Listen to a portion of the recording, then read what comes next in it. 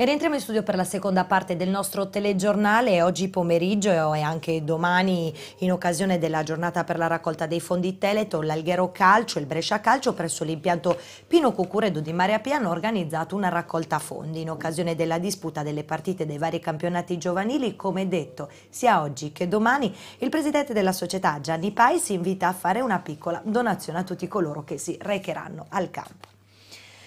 E sempre stando in ambito sportivo, parliamo di calcio, ma in questo caso il calcio d'eccellenza al via domani la prima giornata di ritorno del campionato. L'Alghero, reduce dalla vittoria di Castiadasma nella tana della vice capolista Olbia. Il Fertilia, che ha perso in casa con il Muravera, ospiterà invece al Mariotti il Tavolara.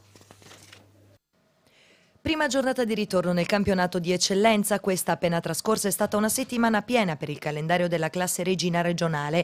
Infatti si è giocato già due volte, domenica scorsa e giovedì, giorno dell'Immacolata, e si tornerà in campo domani. Sul versante giallorosso il 1945 Alghero sarà impegnato nella sfida tanto ostica quanto affascinante con l'Olbia. L'11 di Calvia proverà a fermare il cammino della vice capolista che segue in classifica la Torres a 43 punti. In casa Alghero vanno via gli attaccanti Stocchino e Riu, il primo per una scelta della società, la notizia era nell'aria da qualche giorno, il secondo per scelta personale. La squadra però non ha infortunati né squalificati. L'allenatore giallorosso dovrà mettere in campo la migliore formazione per cercare di arginare gli olbiesi, che hanno dimostrato di essere una compagine forte e di meritare la posizione di classifica che hanno. Di contro i catalani quinti andranno a vender cara la pelle. All'andata aveva vinto l'Olbia al Mariotti per 1-0. L'Alghero è quinta a quota 31. Intanto la società, viste le due partenze, alla ricerca ricerca di un innesto in attacco.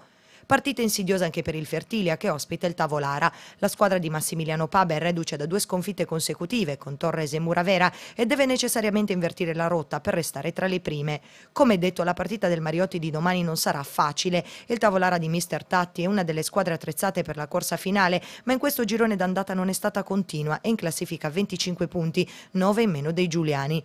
La forza di questa squadra è sicuramente l'attacco con Ibba e Di Pasquale, quest'ultimo autore del gol vittoria a Pula.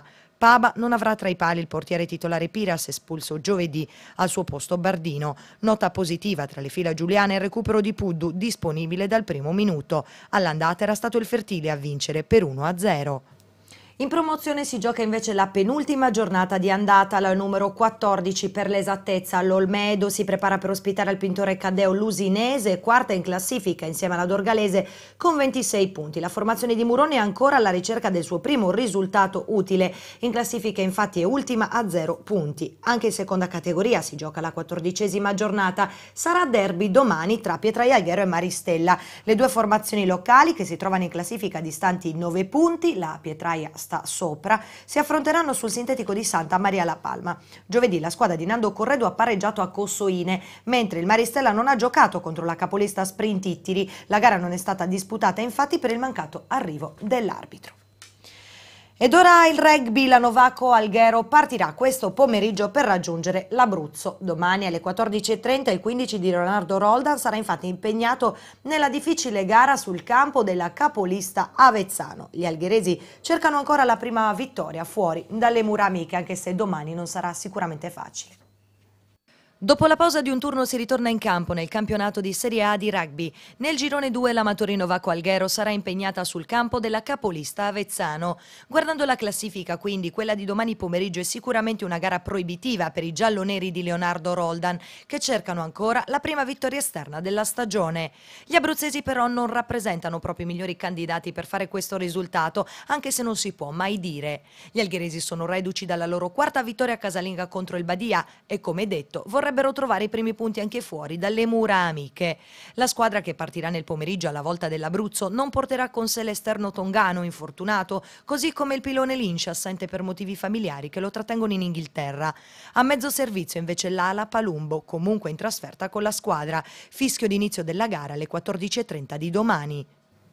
Spettacolo e acrobazie per la prima edizione di Sexboard Skate Contest tenutasi nello skate park di via Domenzoni il giorno dell'Immacolata. Nicola Gaias ha dominato la categoria Under 16, Enrico Carta invece si è imposto in quella Over 16, mentre a Federico Spano, algherese, va la coppa come Best Trick, miglior manovra. Ben 50 gli atleti iscritti.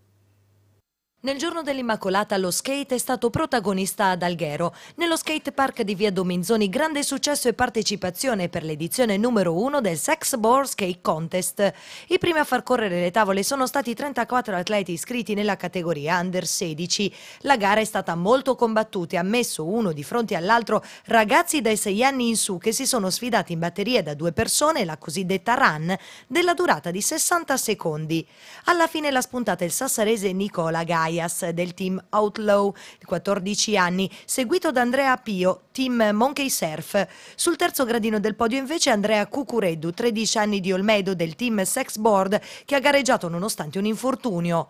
Pubblico e giuria sono rimasti impressionati dalla velocità e dalle esibizioni dei 10 atleti della categoria over 16. L'attento lavoro della giuria dopo il conteggio dei punti ha premiato Enrico Carta, atleta del team Reason, Luther e CMK. Al secondo e terzo posto due ragazzi di Cagliari, Gianmarco Pala del team Reason Evans e Andrea Rolesu del team Wipeout. Il premio come Best Trick, cioè la miglior manovra, l'ha conquistato Federico Spano di Alghero del team Sexboard, che ha portato a termine una difficile acrobazia, il 360 Flip Tail Grab Bank to Bank. Nello skate park si è inoltre tenuta l'esposizione di materiale tecnico dei marchi più rappresentativi del settore e il Nameless Fingerboard Contest, una speciale competizione in cui si utilizzano minuscole tavole da usare con le dita, dove ha primeggiato Alessandro Eletti, seguito da Fabrizio Caso e Stefano Pilo. Per tutta la durata della manifestazione il DJ Black Sheep ha dato la carica agli atleti a suon di musica rock. Gli organizzatori dell'evento, Vincenzo Di Pierro, Carlo Cano e Giulio Pala, fondatori dell'associazione Latenaz, che organizza ad Alghero anche la scuola skate, si sono detti molto soddisfatti per questa prima edizione. Ed è tutto per questa edizione del nostro telegiornale, non mi resta altro che ringraziarvi per averci seguito e augurarvi un buon fine settimana. Arrivederci.